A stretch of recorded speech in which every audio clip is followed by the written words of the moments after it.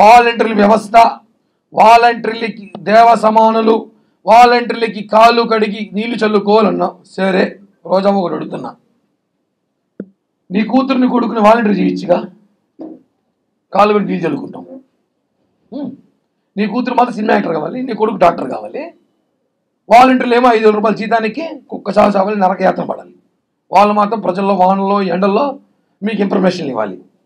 మీరేమో మీ కూతురు మాత్రం అమెరికా సింగపూర్లో బర్త్డే అమెరికాలో షాపింగ్ సింగపూర్లో బోరు కొడితే స్టీమర్లో మీరు తిరగచ్చు. ఏమి వ్యవస్థగా గొప్ప గౌరవప్రదమైన వ్యవస్థ వాలంటరీ. చేయండి. సార్ కుదరలేదు. సార్ వాలంటరీకి ఇచ్చి పెళ్ళి చేయండి మీ కూతుర్ని.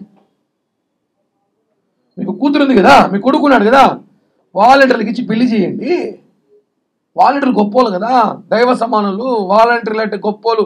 కరోనాలో ప్రాణ ప్రాణం పోసిన వాళ్ళు వాలంటీర్లు ఒప్పుకుంటాం. చెయ్యండి. అవి చేయరు మీరు మాత్రం హ్యాపీగా సుఖంగా ఉంటారు. ప్రజల దగ్గర వాలంటీర్ సావచేక చేస్తారు పవన్ కళ్యాణ్ గారు ఇంట్రిగా కూడా పేకలేరు ఈ ఇంట్రికల వ్యాపారం ఏంది కొత్తగా? మొన్న ఏదో ఉన్నాం ఇంట్రికలు మళ్ళీ ఇంట్రికలు అంటాం అంత ఇంటర్వ్యూలు పిచ్చి ఉంటే చెప్పు. ధర్మారెడ్డి గారితో ఈవతో మాట్లాడి. ఆడ పెట్టేద్దాం. పైన. ఈ ఇంటికలు పీకే ఒక ప్రోగ్రామ్ ఏంది? మొన్న అన్నావు జగన్మోహన్ ఇంటికి పీకలే ఉన్నాం ఈ రోజు వచ్చి వాలంటీర్లు మాకే పనుల వాలంటీర్ ఇంటికి పెట్టుకుంటాం మేమా?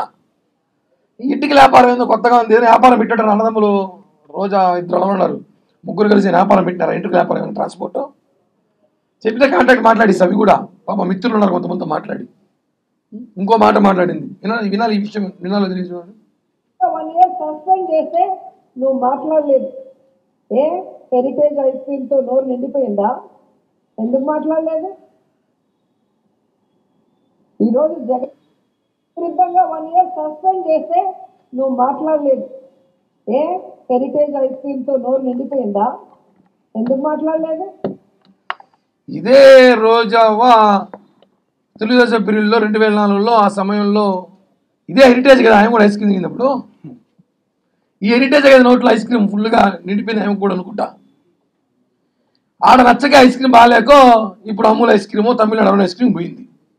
ఐస్ క్రీమ్ గురించి నీకే బాగా తెలుసు మాదిరి మాకు డాక్టర్లు తినద్దన్నారు గొంతు బాగాలేదు మీరు బాగా తింటారేమో మొన్న ఏదో ఫ్యాట్ అయ్యారు బాగా తగ్గారు ఈ మధ్య.